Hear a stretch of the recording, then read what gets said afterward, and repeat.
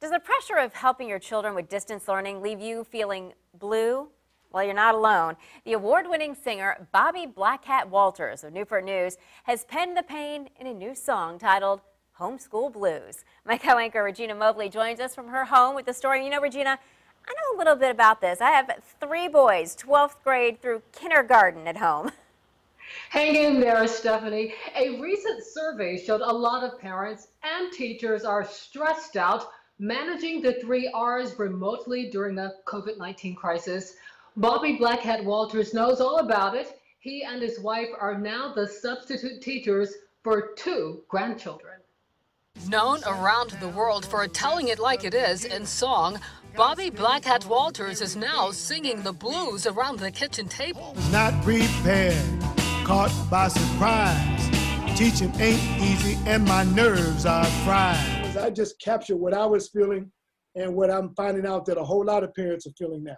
The children's parents are essential workers, so Bobby Blackhat is now wearing the hat of first grade teacher. It can't be that difficult, so he thought. I've literally got four or five different teachers sending me science, history, math, reading, language, uh, PE, computers. When did first grade get hard? Then he found out he wasn't smarter than a first grader. And, and the song says, they do math a whole different way than I learned math. His grandson is saying, no, Papa, that's, that's not the way we do it. The Homeschool Blues debuted on April 18th, and it's getting airplay in Nova Scotia, the 757, and Greenwood, Mississippi. Can you give us a little something, something for Stephanie Harris? No something, something for Stephanie Harris. School shut down for the rest of the year. Gotta stay home, everything got weird. Homeschool is what we got to do.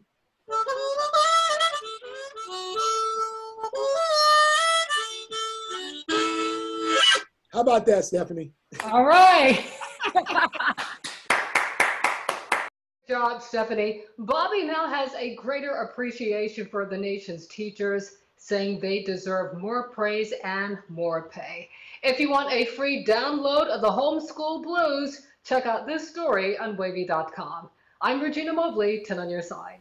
Thank you, Bobby. I think he definitely nailed it on that one. Thanks, Regina.